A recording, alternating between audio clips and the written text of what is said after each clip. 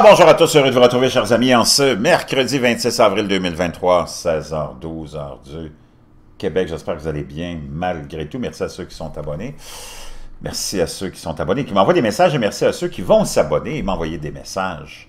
C'est vraiment très apprécié. Beaucoup de choses se passent. On fait naturellement un suivi sur toute l'activité politique, l'activité sociale, économique, financière, climatique, environnementale, de tout ce qui nous attend en passant par les tempêtes géomagnétiques qui pourraient résulter en une énorme catastrophe, et c'est probablement à l'horizon, jusqu'aussi au renversement de pôle qui pourrait se faire soudainement, et qui est une autre catastrophe qui nous pend au bout du nez, sans compter le totalitarisme, l'argent numérique et tout le reste. Mais là, on va prendre une pause.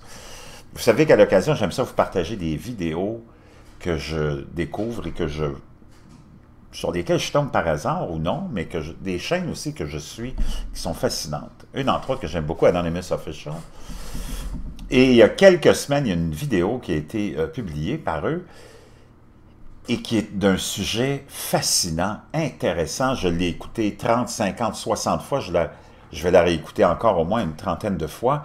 Puis je vais vous en faire un résumé demain. Aujourd'hui, je n'ai pas le temps, mais je voulais juste vous parler grosso modo de ce que c'est. Vous avez la foi, j'ai la foi, on a tous la foi, vous avez votre modèle euh, de foi, que ce soit le christianisme, que ce soit l'islam, ou peu importe, tout est euh, légitime.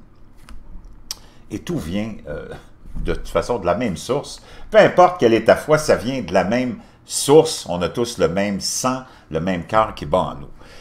Et dans cette vidéo-là, ce qui est extraordinaire, c'est qu'on parle d'un sujet complètement euh, hallucinant, renversant. Il faut que tu sois ouvert à tout ça, mais que tu le sois ouvert ou pas, la science s'est penchée là-dessus, la NASA s'est penchée là-dessus, et c'est les messages cryptés qu'on a dans notre ADN. Et tout ça dans l'angle de la lumière verte et dans l'angle de la photosynthèse et de ce qu'on la science appelle euh, l'ATP. Sans ATP, nous ne pourrions pas former une pensée ou bouger un muscle. L'ATP maintient nos nerfs en ébullition et notre cœur en battement. C'est la monnaie énergétique de notre corps. C'est la principale monnaie énergétique non seulement dans nos cellules, mais dans toute forme de vie sur la planète. Toutes les cellules fabriquent ils ne se déplacent pas une cellule euh, à l'autre et, et elles utilisent, elles l'utilisent pour alimenter presque tout leur processus. L'ATP est comme une petite batterie, une pile 2A rechargeable, qui est essentiellement un paquet d'énergie qui peut être utilisé pour alimenter n'importe quel nombre d'appareils électriques ou peu importe. Ça, c'est l'ATP. Les plantes l'ont et nous, on l'a.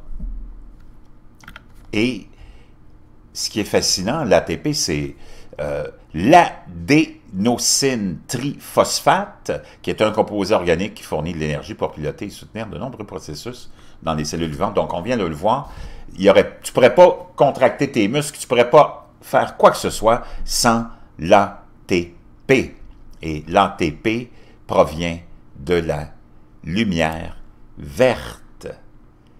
Et la NASA, donc l'aspect euh, vert agréable des plantes causé par leur réflexion de longueur d'onde dans la gamme 500-600 NM pourrait donner l'impression que la lumière verte est d'une importance si mineure en biologie. Ce point de vue persiste dans une certaine mesure, cependant il existe des preuves solides que la lumière verte est plus que importante, elle est essentielle à la vie. Sans la lumière verte, il n'y aurait pas de vie, il n'y aurait pas d'ATP sans la lumière verte.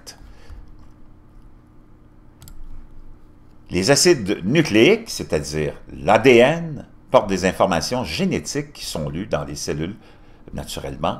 Et euh, ce qui est complètement hallucinant, la NASA, et j'ai le document de la NASA euh, ici, nous dit que les protéines du photosystème à l'intérieur d'une cellule végétale sont traduites à partir d'acides aminés.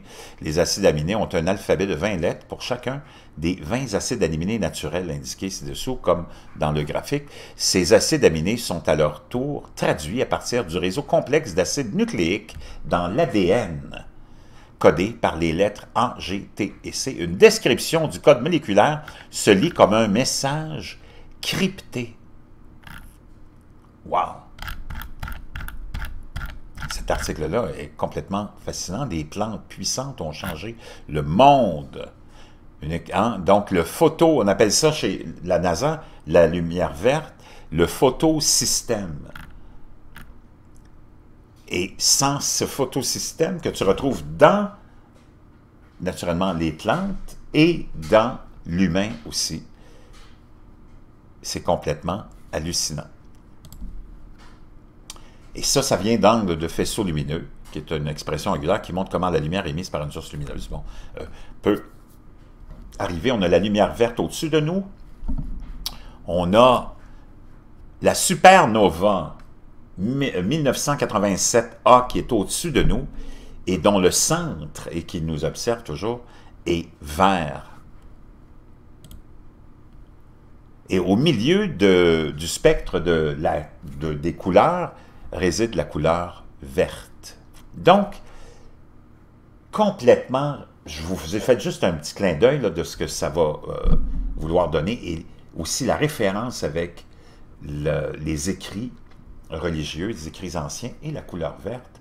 Et la couleur verte est le messager de tout ça. Donc, on a des messages cryptés dans notre ADN qui sont produits par la lumière verte, par peut-être même ce qu'on pourrait appeler la divinité. C'est complètement fascinant.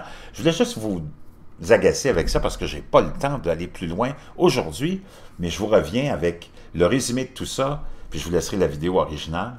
Vous allez être ébloui comme moi, parce que ça te donne tout un regain de vie de savoir que en nous, on a un message crypté, c'est ce qui fait que, en tout cas, je vous reviens là-dessus.